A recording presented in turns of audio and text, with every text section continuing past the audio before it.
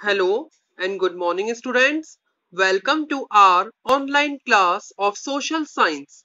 Students, today we are going to discuss third part of chapter 16 that is rural development and employment guarantee scheme. Students, let's recall the first what we read in the last part of the video. We read about the situation of unemployment in rural areas. It was very high. That's why rural people migrate from rural areas to urban areas for job and employment.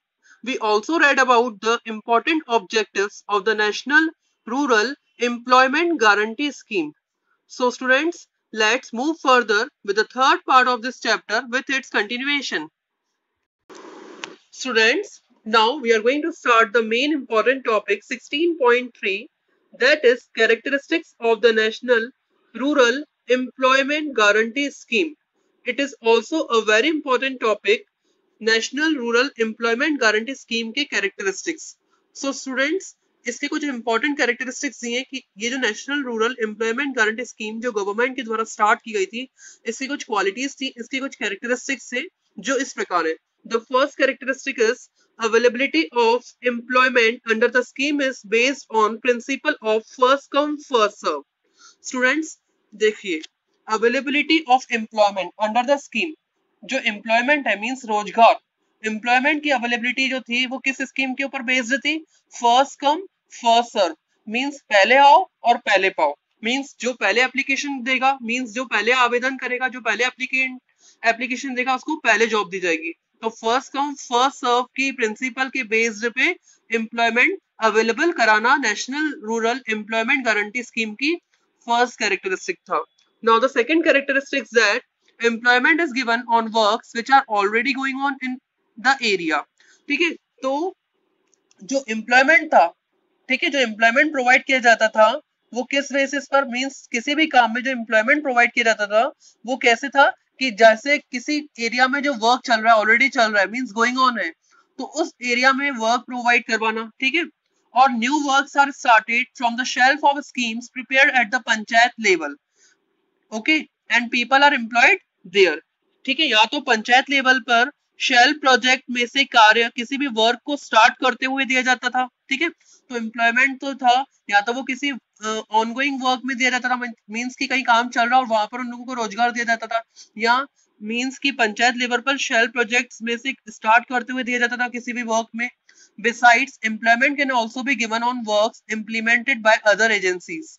इसके अलावा employment जो था means की अगर कोई other agencies भी किसी work को इम्प्लीमेंट करती थी ठीक है? तो उनके बेसिस पर भी इन्हें काम दिया जाता था ठीक है? तो employment also can be given on the work implemented by the other agencies अगर अदर एजेंसीज भी कोई काम स्टार्ट करती थी उनके वर्क में भी उनको एम्प्लॉयमेंट प्रोवाइड किया जा सकता था। तो इस तरीके से वर्क जो था वो प्रोवाइड किया जा रहा था। Now the third point while providing employment, it is borne in mind that the work site is within 5 kilometer radius from the resident of the applicant. ठीक है? मीन्स की एम्प्लॉयमेंट प्रोवाइड करते समय एम्प्लॉयमेंट प्रोवाइड करते समय इस बात का ध्यान रखा जाता है कि एम्प्लॉयमेंट एप्लीकेंट के रेजिडेंस के फाइव किलोमीटर की रेडियस में ही हो। ठीक है? एम्प्लॉयमेंट प्रोवाइड करते समय इस बात का ध्यान रखा जाता है कि जो वर्क साइट है, ठीक है? वो रेजिडेंस मींस जो एप्लीकेंट है मींस जो एप्लीकेशन दे रहा है, जो आवेदन कर रहा है, उसके रेजिडेंस से पाँच किलोमीटर फाइव किलोमीटर के अंडर में ही फाइव किलोमीटर से ज़्यादा दूर न हो। If it is not possible to provide work within radius of 5 km then the जनपद पंचायत provides employment ठीक है? इट मीन्स कि 5 किलोमीटर की रेडियस में एम्प्लॉयमेंट न होने की स्थिति में जनपद पंचायत जनपद लेवल पर एम्प्लॉयमेंट प्रोवाइड किया जाता है। ठीक है? अगर ऐसा पॉसिबल नहीं है कि 5 किलोमीटर की रेडियस में अगर वर्क वो स्टेप वर्क नहीं दे पा रहे हैं तो जनपद जो जनपद पंचायत होती है वो एम्प्लॉयमेंट प्रोवाइड करती है। And an additional amount to the extent of 10% of the minimum wages is paid to the applicant over and above the minimum wages. Okay, और तब ट्रांसपोर्टेशन एसेप्ट्रा हेतु एप्लीकेंट को मिनिमम वेजेस का 10 percent additional payment भी किया जाता है। Means जो खर्चे होते हैं ठीक है? तो ट्रांसपोर्टेशन वगैरह के तो एप्लीकेंट को मिनिमम वेजेस का टेन परसेंट जो है वो एडिशनल पेमेंट भी किया जाता है।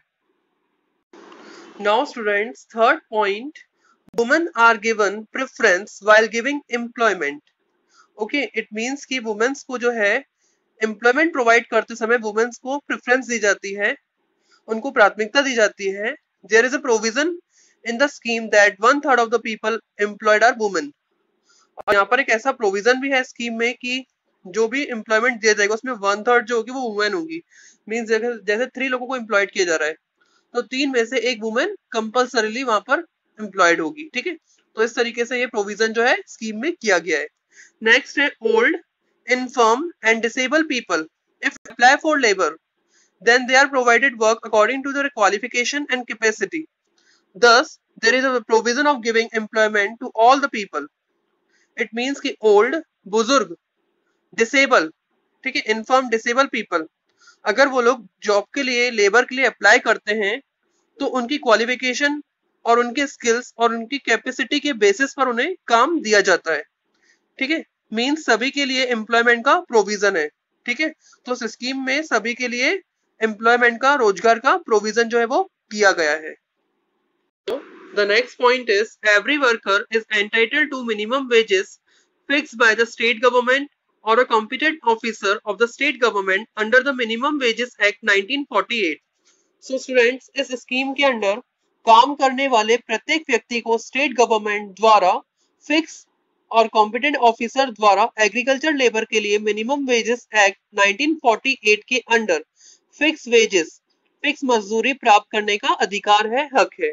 Okay no discrimination is made in the rates of wages paid to man and women और चाहे वो मेल हो, चाहे वो फीमेल हो मींस मैन हो, चाहे वो वुमेन हो रेट्स ऑफ़ वेजेस में मींस मजदूरी की जो दर है, मजदूरी का जो पेमेंट है, उसमें किसी भी तरह का कोई भी डिस्क्रिमिनेशन नहीं किया जाएगा, कोई भी भेदभाव नहीं किया जाएगा। वेजेस आर पेड वीकली और मैक्सिमम ऑन फोर्टनाइटली बेसिस और मजदूरी का जो पेमेंट है, जो भुगतान है वीकली और फोर्टनाइटली बेसिस पर किया जाता है। So students next point is there is a provision for free treatment in case of any injury sustained during the work and compensation is given for disability or death during the work. So, students, अगर काम के दौरान, काम के दौरान अगर चोट लग जाए या किस, कोई ऐसी प्रॉब्लम हो जाए इंजरी हो जाए तो ऐसी कंडीशन में फ्री ट्रीटमेंट का प्रोविज़न है। और अगर ऐसी कंडीशन हो या अगर डिसेबिलिटी हो जाए, ठीक है? डिसेबिलिटी या डेथ होने पर अगर काम के दौरान ठीक है, किसी व्यक्ति, अगर कोई व्यक्ति डिसेबल हो जाए या किसी की डेथ हो जाए तो ऐसी कंडीशन में कंपनसेशन का प्रोविज़न भी है मींस मुआवजे देने का भी प्रोविज़न है। नेक्स्ट पॉइंट है under the scheme the work taken up related to water forest land agriculture और construction and improvement repair of road there is a ban on giving the works on contract. गाँव में जल, जंगल, ज़मीन से जुड़े काम और खेती तथा सड़क बनाने एवं सुधारने आदि के काम होंगे। और कॉन्ट्रैक्ट बेस पर काम कराने पर रोक होगी। Means there is a ban on giving the works on contract और कॉन्ट्रैक्ट पर किसी भी तरह का काम नहीं दिया जाएगा। ठीक है? तो इस तरह का प्रोविज़न जो है वो किया गया है। Now students next point is under the scheme use of labour saving displacing machine is prohibited it means कि इस स्कीम के अंडर लेबर सेविंग मीन्स की मशीन्स को डिस्प्लेस करना जो है वो बिल्कुल ही प्रोहिबिटेड है. But it is ensure that the quality and safety standards are maintain लेकिन इसमें यह भी ध्यान रखना सुनिश्चित करना होता है कि क्वालिटी और सेफ्टी स्टैंडर्ड्स को मेंटेन किया जाता है। इट मीन्स की स्टूडेंट्स कि जैसे सपोज़ कोई काम करवाना है, गाँव में किसी भी तरह का कोई काम करवाना है, खुदाई का काम करवाना है तो उस जगह पर लेबर अगर लेबर काम कर रही है तो लेबर को ही काम करने दिया जाएगा। मीन्स उसकी जगह पर जेसीबी वगैरह से खुदाई नहीं करवा सकते हैं।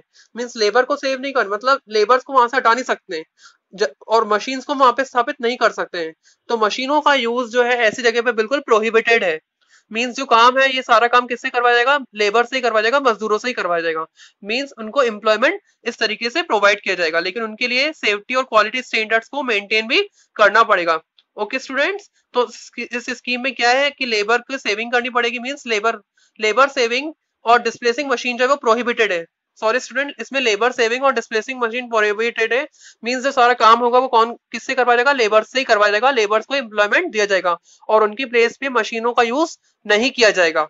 सारा काम किससे करवाया जाएगा? लेबर्स के through now the next point is there is a provision of social audit to ensure transparency and peoples participation in the works it means कि यहाँ पर ऐसा भी प्रोविज़न है कि जो भी काम होगा उसमें ट्रांसपेरेंसी होगी, पारदर्शिता होगी और हर जन भागीदारी के साथ काम होगा। मीन सबका, सब पीपल्स का पार्टिसिपेशन होगा।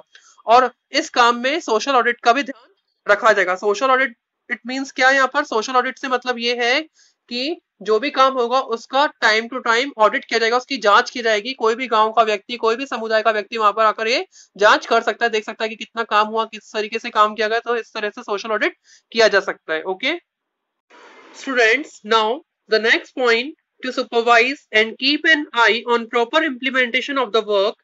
There it is a vigilance and evaluation committee in the village. This committee supervises and inspects the work. The Gram Sabha will supervise and inquire as to what works have been done, how many laborers are were employed and whether all the workers were paid proper wages.